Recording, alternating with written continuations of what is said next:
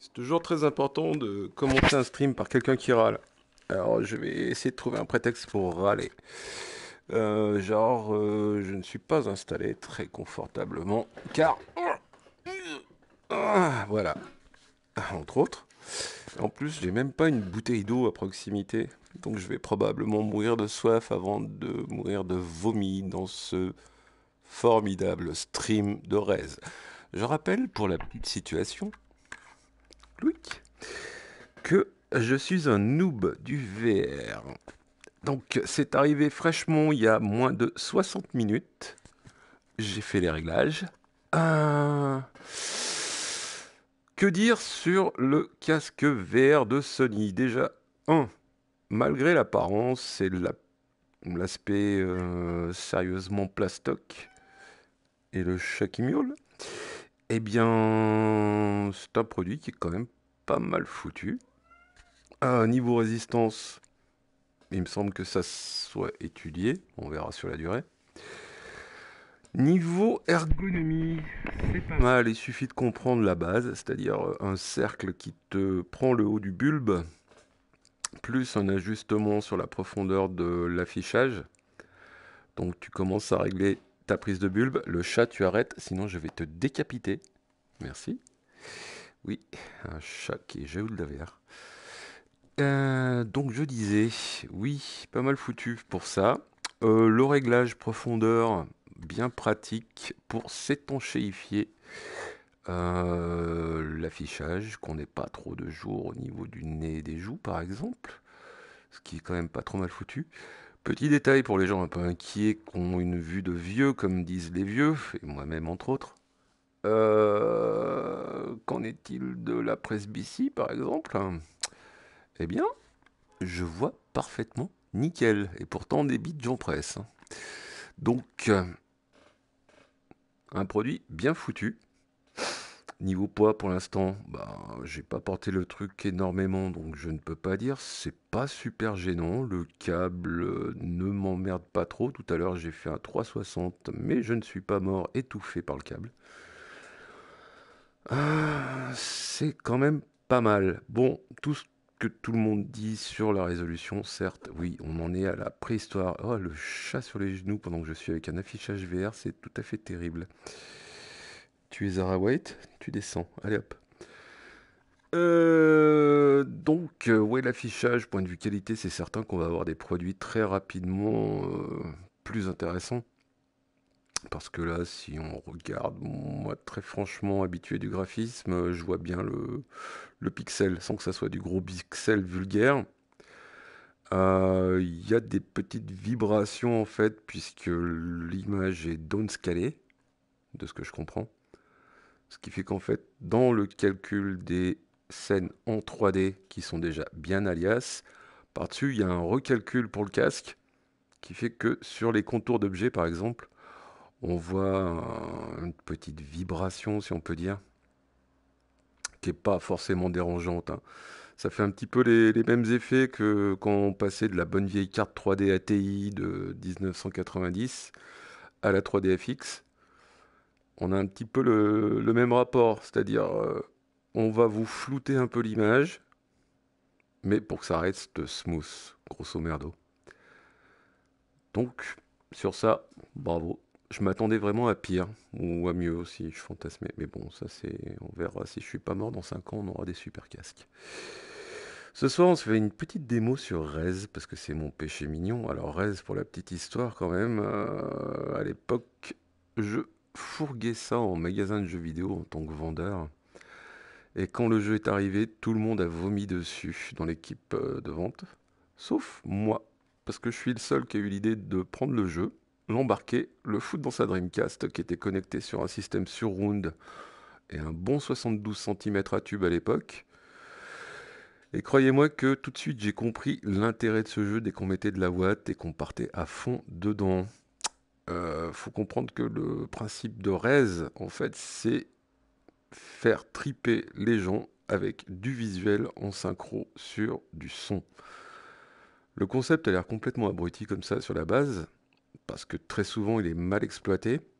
Mais quand c'est fait avec talent, comme la team qui a développé ce produit, euh, ça donne des résultats assez euh, faramineux, puisqu'à l'époque, ne serait-ce que sur une télé à tube, je vous garantis qu'avec un bon son euh, qui vous bouffe toute la pièce, il y avait largement de quoi triper. Alors pour l'anecdote, les gars ont même poussé le vice jusqu'à créer un petit périphérique USB qu'on branchait sur les PS2. C'était uniquement sur les versions PS2, il me semble et qui était une espèce de, petite poire qu'on foutait euh, tranquille dans le canapé et qui, en plus des vibrations de la manette qui étaient fortement bien exploitées, bah, vous balancez encore des patates derrière, sachant que si vous aviez déjà le bon gros son de la chaîne, les basses, vous les mangiez comme un meuble normand au niveau du ventre, comme c'est prévu dans toutes les bonnes soirées où on a du gros son. Résultat, les gens n'ont pas trop compris euh, l'intérêt de Rez à l'époque et on trouvait ça comme mineur. Et ça n'est que 15, euh, 20 ans après que le jeu a eu un succès d'estime, car en fait il était peut-être un peu trop en avance sur son temps. Alors aujourd'hui, le voir débarquer dans la VR, c'est quand même un gros panard, parce qu'on sent que les mecs se foutent pas mal de la gueule du monde, et qu'eux, ils sont là pour triper, ils sont pas là uniquement pour faire du blé, comme on le voit avec tous ces titres AAA. Et tant qu'à faire AAA, je vais essayer de retrouver la manette à tâtons. Et eh ben on va faire AAA en jouant un petit peu. Alors euh, si, je préviens tout de suite, parce que j'ai remarqué ça sur les streams VR, si ça bouge vraiment trop à regarder pour vous, spectateurs, balancez des tweets pour gueuler un peu. Je ferai une pause euh, entre chaque niveau pour regarder de quoi il en retourne. Parce qu'effectivement, toute la visée maintenant ne se fait plus à la manette, mais se fait uniquement avec le regard. Et donc, je vais être amené à bouger énormément. Moi, je sais dans quelle direction je vais. Donc, c'est jamais désagréable. Mais c'est comme quand on est conduit dans une voiture, alors qu'on aime mieux conduire. Euh, quand le gars tourne à gauche, alors que nous, on était en mode tout droit, c'est jamais très très agréable. Donc, vous me direz de quoi il en retourne, parce que j'aime bien avoir les avis à ce niveau-là. Et puis, on essayera d'ajuster euh, au fil du jeu. Ce soir, je pense que je vais pas faire un 100% parce que je ne sais pas si des gens ont regardé le test que j'ai posté tout à l'heure. Euh, la vision, en fait, dans la VR, euh, elle se fait beaucoup plus proche du personnage. Ce qui fait qu'en fait, on a une impression de cadrage de zone de vision qui est plus réduite que sur la version euh, projetée sur un écran de télé. Du coup, pour arriver à faire un 100%, il va falloir que je tourne sans arrêt la tête, au risque de vous rendre le stream fortement désagréable. Donc euh, c'est pour ça, je préviens tout de suite, on va pas faire dans le scoring ce soir, je sens. Mais bon, je vous invite quand même à monter le son, et puis euh, profiter du truc pour voir la tête que ça sachant que vous en aurez une expérience quand même beaucoup plus différente de la mienne. Parce que moi, là, je suis dedans. On y va.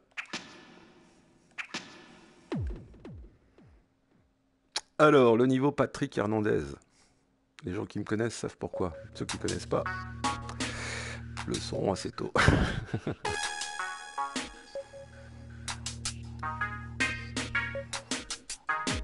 Alors pour le détail, je me suis quand même pris le luxe par rapport aux essais tout à l'heure qui étaient dans le canapé de sortir la chaise de bureau qui me permet de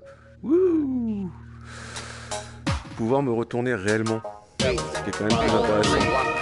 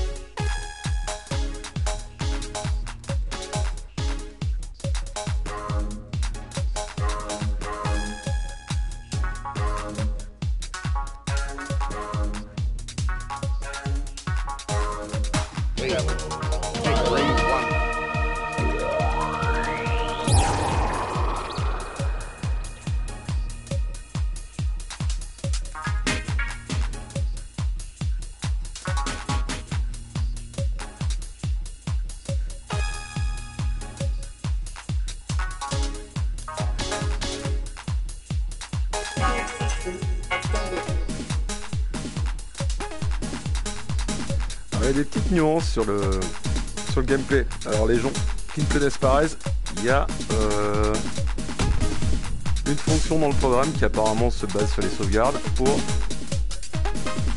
estimer votre niveau de joueur. Et tout à fait normal en fait pour les gens euh, jouant régulièrement à ce jeu.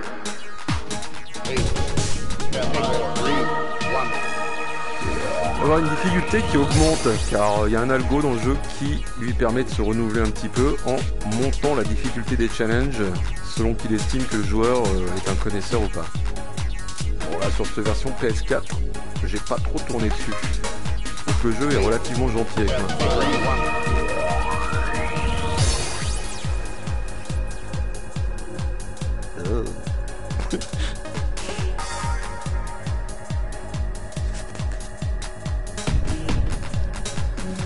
Les objets sont très très gros, c'est assez impressionnant.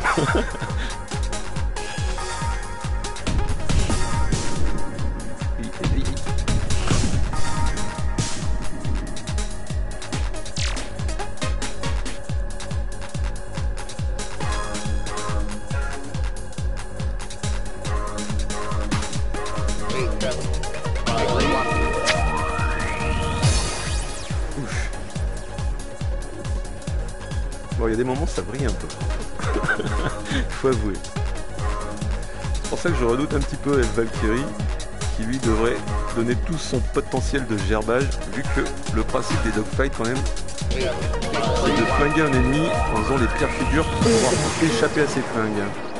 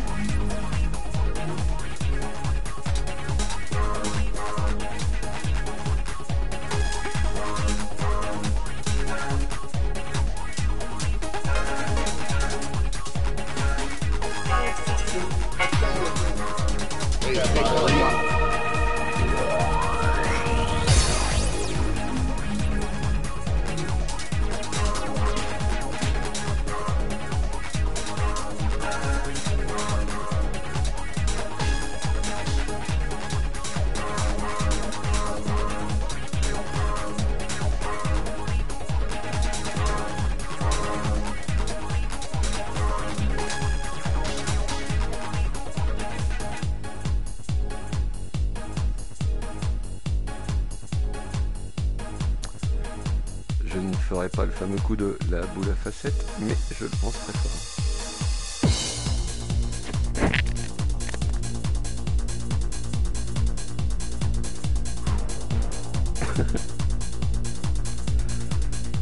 Donc pour mon premier jour, là j'aurais déjà fait 35 minutes de VR. Et ça va.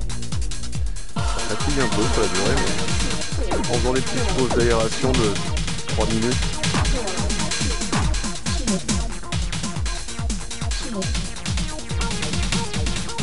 fait gérable.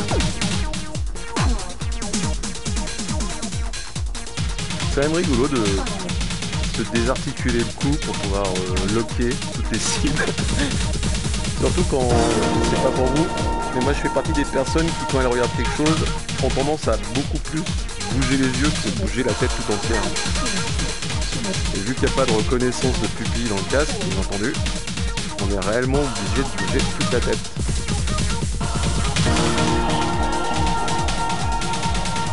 Où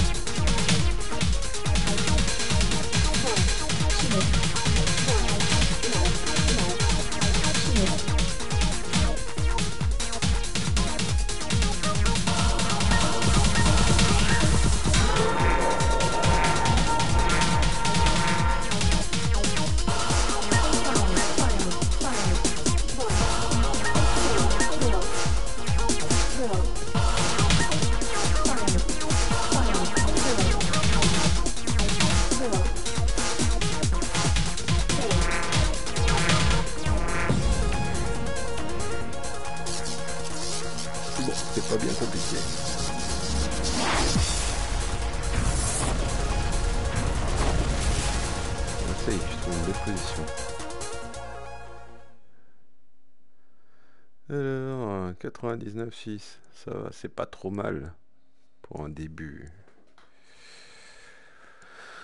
Je vais juste jeter un oeil, voir s'il y a des trucs qui vous choquent sur le stream là.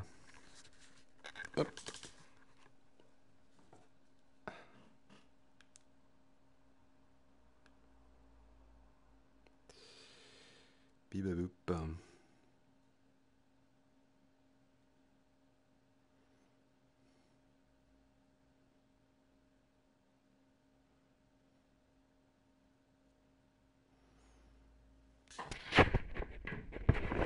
Bon, rien à signaler depuis 15 minutes. Donc, soit vous êtes là et silencieux, soit vous n'êtes pas là.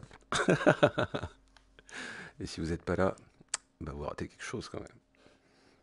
Parce que vous ratez quelque chose. Allez, zone 2. U.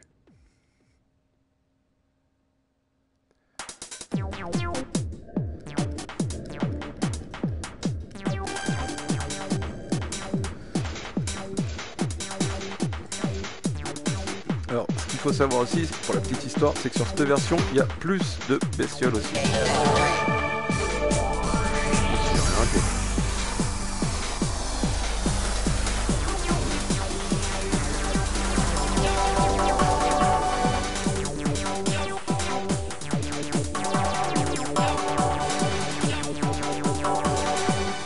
Ah. Alors il y a des demi-tours qui sont automatiques, c'est assez rigolo en complément de celui que je peux faire moi-même, si j'ai envie. D'ailleurs, j'avais raté ça. Bah, forcément, ça rajoute des sensations un peu étranges.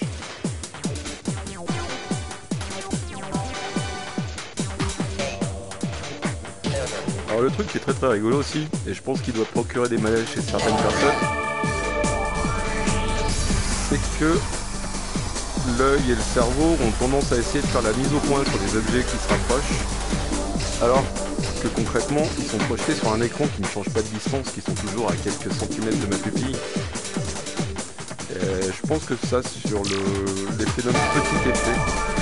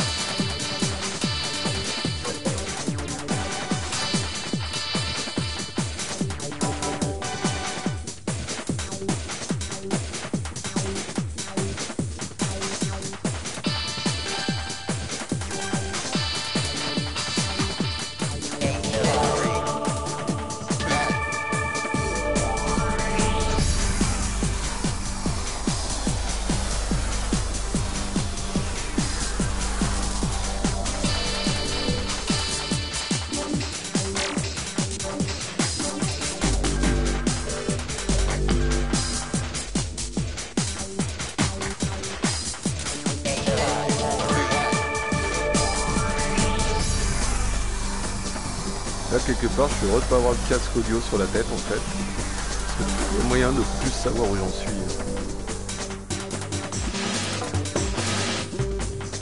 Niveau immersion, ça marche pas mal.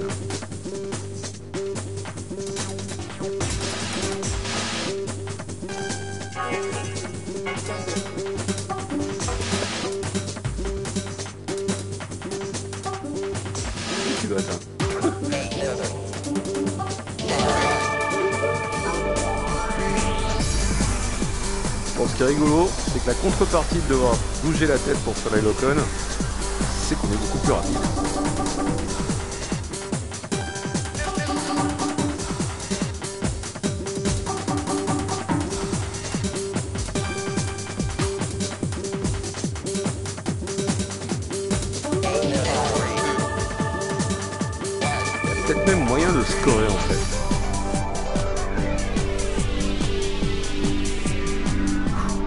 Les mouvements ils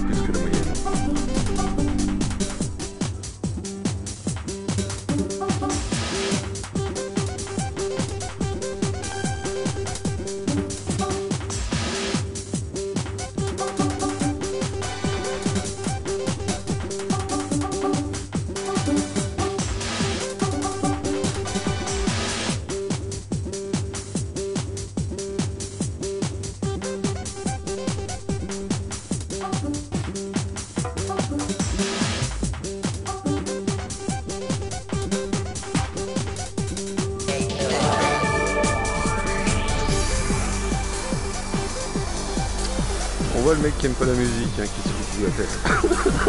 ça doit être super pénible. C'est pour ça que je vous demande des feedbacks.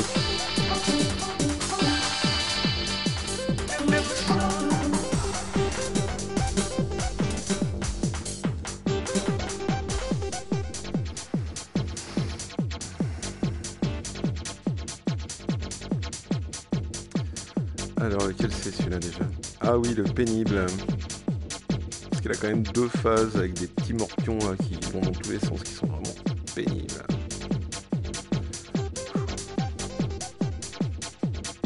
C'est parti.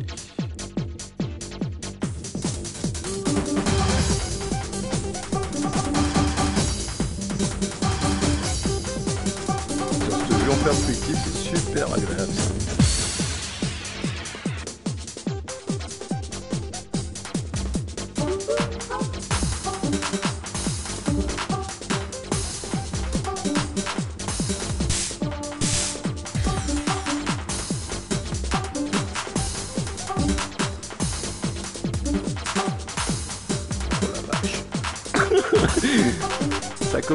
commence à faire tourner la tête.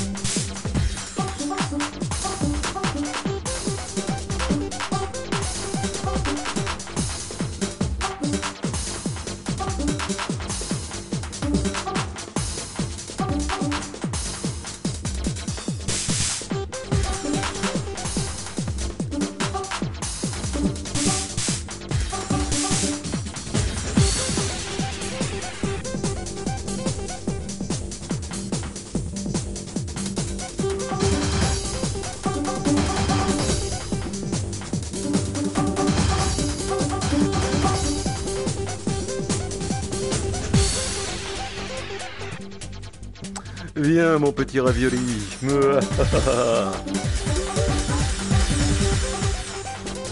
Bon là le jeu est sympa, il me fait faire demi-tour automatiquement, c'est pas moi qui l'ai fait. Voilà le passage pénible.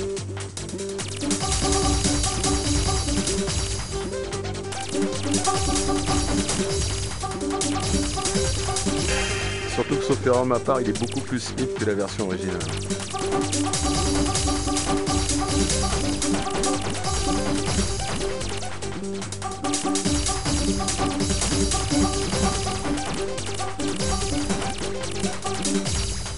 Là, j'imagine que vu de l'extérieur, ça doit avoir l'air totalement ridicule. Ça secoue la tête dans tous les sens.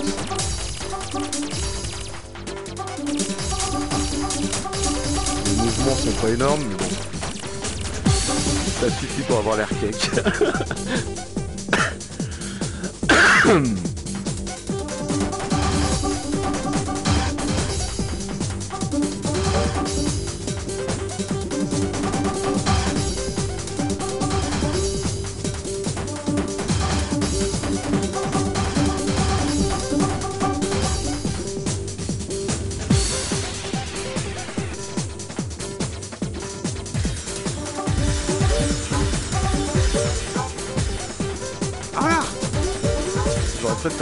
moi-même le hein. Plus simple.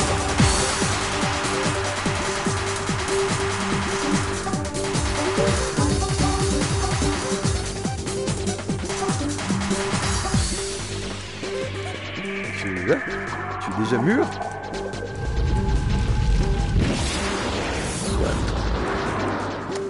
Bye bye.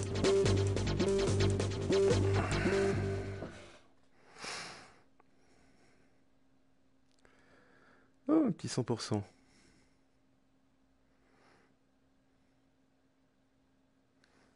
Je vais faire un check du Twitter, puis ça me fait une petite.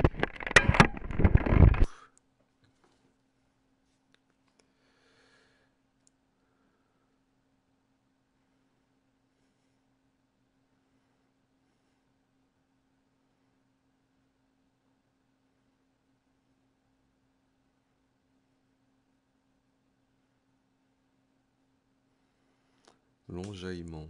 Quel vieux terme. C'est reparti.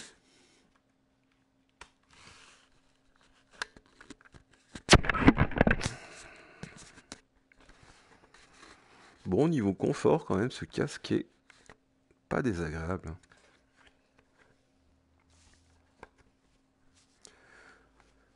Zone 3.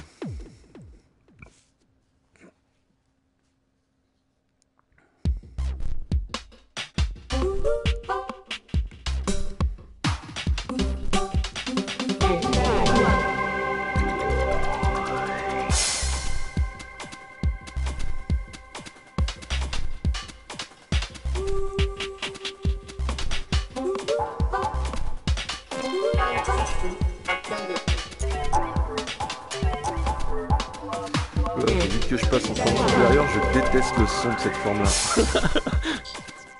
bonus.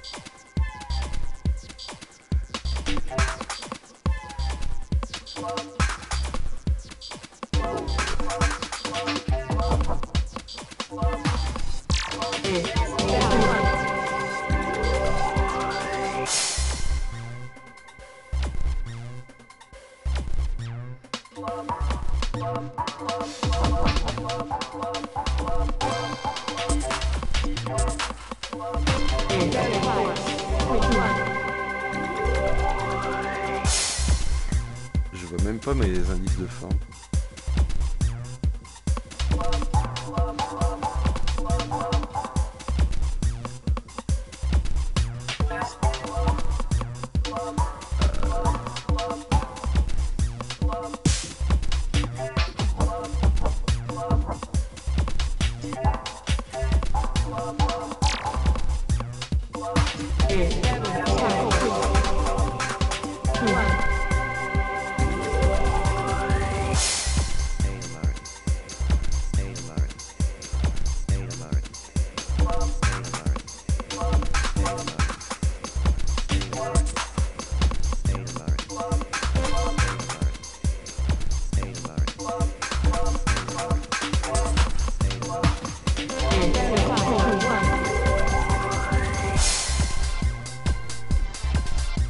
Pas l'affichage complet parce que je vois pas mon nombre de bombes. Ni même le score d'ailleurs.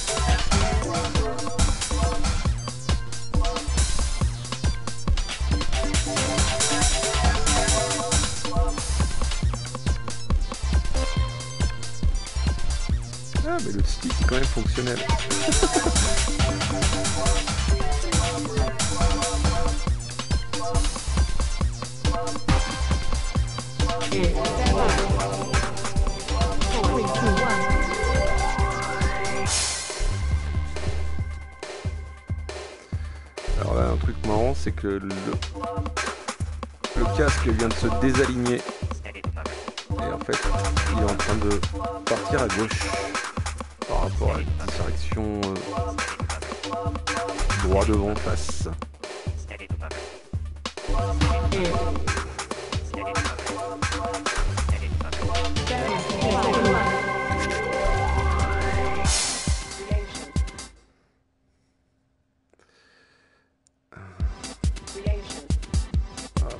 Pas moyen de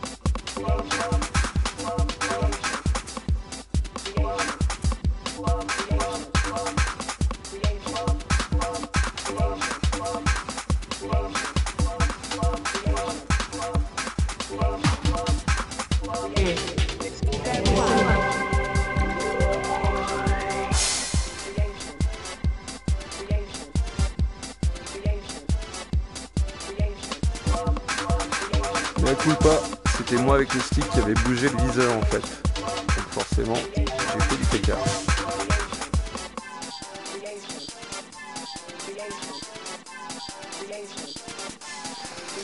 Note pour plus tard, ne pas toucher le stick.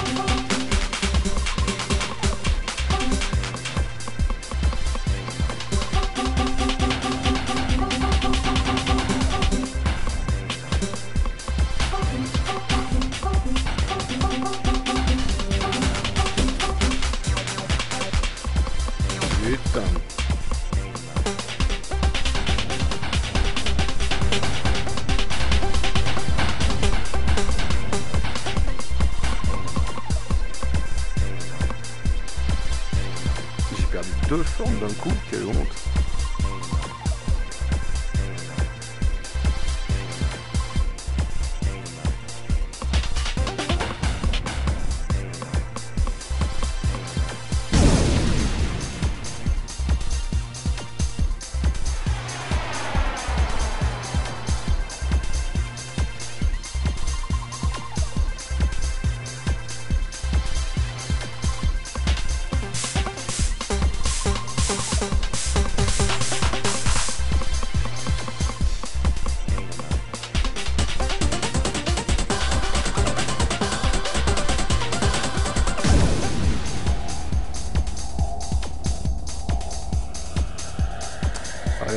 comprends pas bien, c'est que les boss sont vachement plus faciles.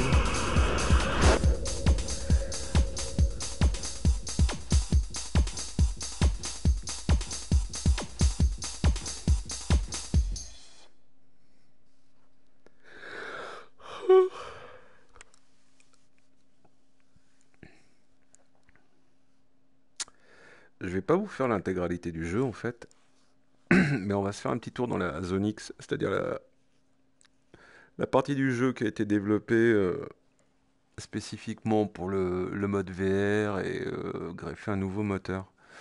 Alors il est basé sur le Unreal Engine, ce qui lui permet d'avoir un rendu un petit peu plus lissé, on va dire, beaucoup plus smooth, comme veut l'expression. Et c'est pas mal intéressant parce que du coup, oui, en VR, il prend une, une dimension euh, qui donne envie que ça soit un jeu complet, pas juste un, démo, un, niveau démo comme euh, l'impression que laisse cette version-là. Je vais me permettre de monter le son parce que cette petite soundtrack de 12 minutes est quand même très sympa. Bien que ce soit quand même très euh, boom boom discothèque. Hop. Merde, j'ai remis le casque pour mettre la manette. Hop. Allez. Ah mais je peux reculer encore. Voilà. Ah oui, ce truc qui queen, c'est la chaise. En route pour la zone